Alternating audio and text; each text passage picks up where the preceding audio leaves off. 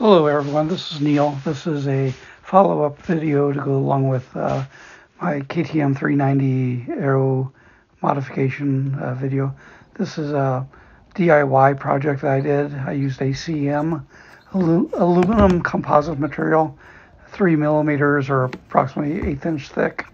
Um, I think you should probably make your own templates out of uh, poster board or something of the like. I don't think most motors, most of these motorcycles will be exactly the same in uh, the part that fits up there.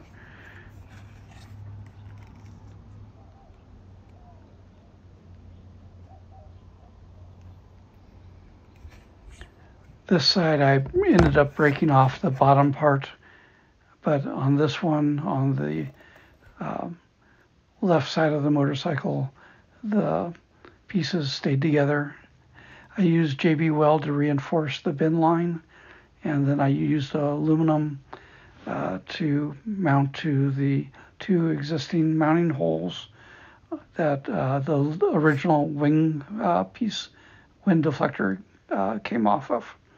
I also used a piece of uh, Gorilla tape down at the bottom just because I didn't want to make a bracket for down in the lower radiator area. So I just used a piece of Gorilla tape down there to hold it together.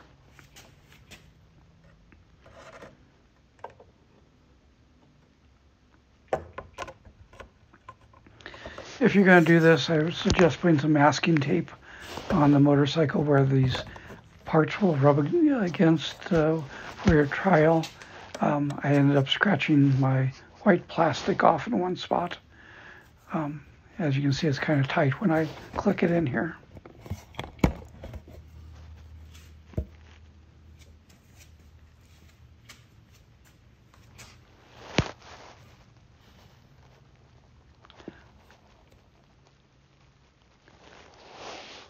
Good luck if you to make your own and have fun.